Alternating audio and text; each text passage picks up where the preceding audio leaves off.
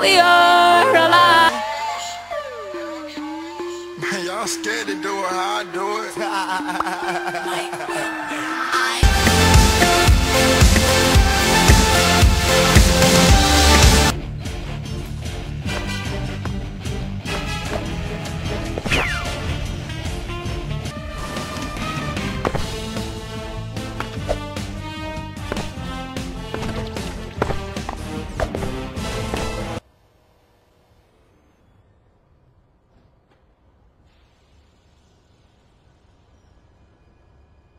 All reactor core safe.